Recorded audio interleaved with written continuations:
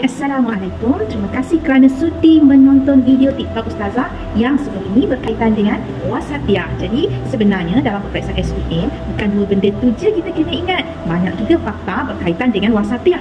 Ha, selain daripada maksud wasatiyah, prinsip wasatiyah, anak-anak kena tahu maksud keempat-empat prinsip wasatiyah ini. Jom kita ulang kaji bersama-sama. Okay, yang pertama maksud kesederhanaan. Maksud kesederhanaan itu mula dengan melakukan. Melakukan sesuatu dengan sempurna tidak melampau atas dan memenuhi syarat. Ingat ya. Tetapi uh, selepas itu dia kemungkinan akan tanya, apakah aspek kesederhanaan dalam wasatiyah?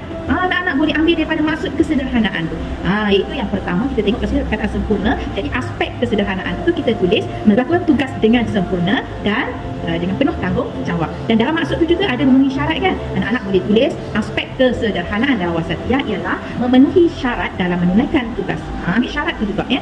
Okay, yang kedua anak-anak kena hafal maksud keseimbangan. Keseimbangan ialah memenuhi keperluan jar. Mula dengan memenuhi, kemudian keperluan jar. Jar itu apa?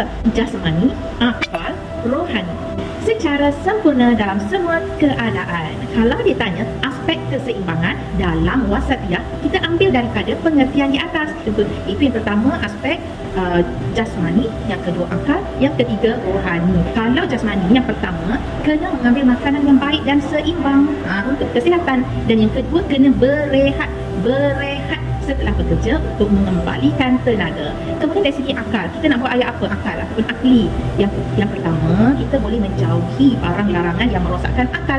Yang kedua, kita menggunakan akal untuk meningkatkan ilmu. Yang ketiga, kita menggunakan akal untuk memajukan diri dan meningkatkan negara. Contoh dari aspek rohani pula, yang pertama melaksanakan ibadah fardu dan sunat dengan istiqamah. Yang kedua, menghayati Al-Quran dan berzikir dengan bersungguh-sungguh. Yang ketiga, melakukan ibadah dengan ikhlas.